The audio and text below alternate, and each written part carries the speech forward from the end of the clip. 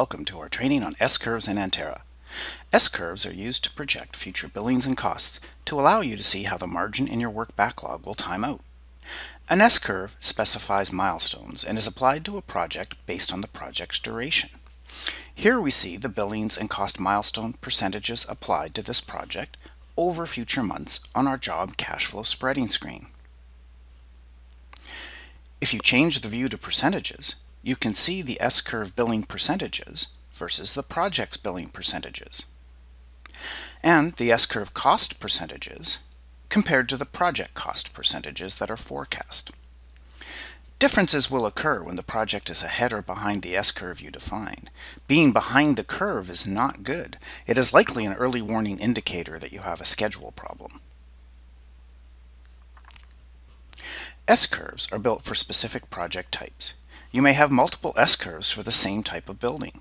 For example, a two-story high school for 3,500 students may take 15 months to build and will have a different S-curve than a one-story elementary school for 300 students that takes 9 months to build. You'll build an S-curve for each project type. If you find that a project is not following its S-curve very well, it may indicate that you have another project type or curve, or that project could be in trouble. An S-curve starts with a type of project. You can manage project types under Construction, Administration, Project Type Administration. Or you can just type in a new project name and create it from the S-curve builder screen. You'll give a project type its average duration in days. You then create project milestones during construction. You can add as many rows as you want for milestones.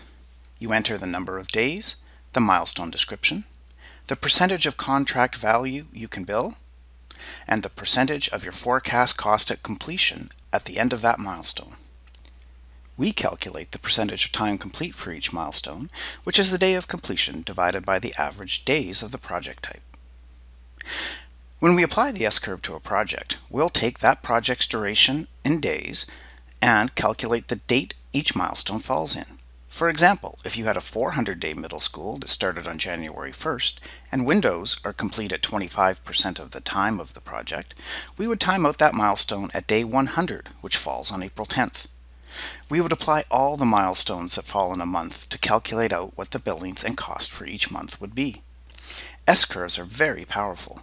We'll be able to show you if a project is behind its S-curve costs and billing, which could indicate an upcoming schedule problem.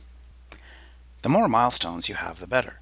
If you have large gaps in your milestone, your S-curve may have months with no billings, which isn't likely to happen for most companies.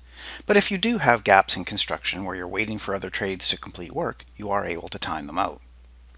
We have a series of videos in our knowledge base on cash flow forecasting. Please contact your Anterra consultant or email us at support at if you have questions. Have a great day.